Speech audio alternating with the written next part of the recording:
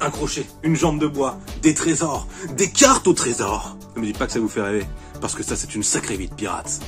Forgotten Waters. Créez votre équipage, recrutez des pirates et partez à l'aventure. Qui n'a jamais voulu être un pirate? Avec Forgotten Waters, désormais c'est possible. C'est un jeu d'aventure semi-coopératif, parce que chacun a ses propres objectifs évidemment, dans lequel vous allez vivre une aventure folle sur les mers endiablées. Vous avez plein de missions à faire, vous avez une application qui vous aide et fait office de narrateur, et chacun a son propre personnage. On n'est pas loin du jeu de rôle comme d'habitude avec les grosses boîtes comme ça, du coup attendez à vous des parties assez longues de 2 à 4 heures de jeu quand même. Mais il en faut du temps pour hisser les voiles, poncer le navire et récolter les trésors. Alors à vous de découvrir les rebondissements qui vont embellir votre vie de pirate.